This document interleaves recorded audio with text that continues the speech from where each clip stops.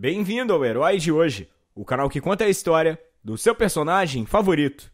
Eu sou Jonathan Maia e hoje você irá conhecer a origem de Stephen Strange, o Doutor Estranho.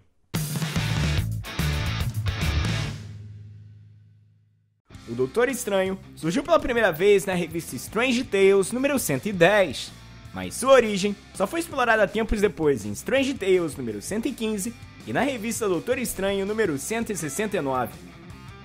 Stephen Strange era um famoso neurocirurgião conhecido por realizar diversas operações bem-sucedidas.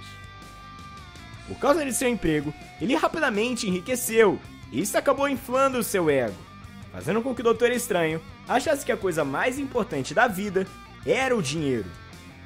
Mas ele estava totalmente enganado, pois em uma noite tudo mudou.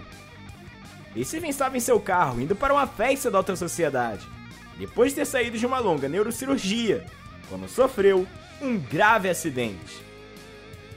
No hospital, ele foi informado pelo médico que nunca mais poderia operar de novo, já que o acidente danificou os nervos da sua mão. Destinado a conseguir uma cura, Recife gastou toda a sua fortuna em operações para conseguir voltar a operar.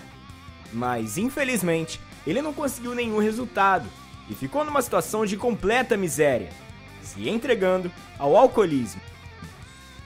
Steven já tinha quase perdido as esperanças, quando numa noite ele ouviu dois marinheiros mencionarem que existia um homem chamado Ancião, que vivia nas montanhas do Himalaia, no Nepal, e conseguia fazer coisas que a ciência não conseguia explicar.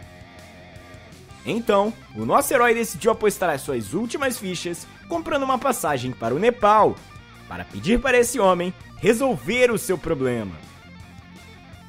Ao chegar no país, Stephen foi direto para as montanhas do Himalaia, onde depois de um tempo de busca, encontrou o templo deste homem.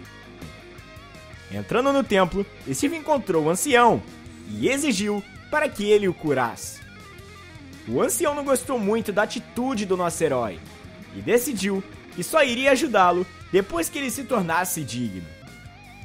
Steven pensou que o ancião na verdade era um farsante e decidiu arrancar os seus conhecimentos à força.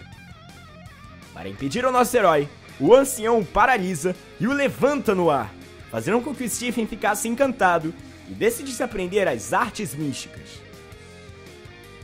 O ancião possuía um discípulo, chamado Mordo, que sempre viu o nosso herói como um oponente. Um dia, Stephen flagrou Mordo lendo pergaminhos proibidos que continham as informações necessárias para invocar um ser chamado Dormammu, que é tão poderoso quanto o ancião. Stephen decidiu contar para o ancião o que ele viu, mas acabou sendo pego por Mordo e colocou uma mordaça invisível na boca do herói, para impedir que ele revelasse o seu plano maligno. Mordo invoca chamas para acabar com seu mestre, mas o ancião consegue se libertar delas e banir Mordo de seu templo, apenas utilizando a magia. Após ver esta cena, Steven decidiu iniciar um longo treinamento com o ancião para se tornar um mestre da magia.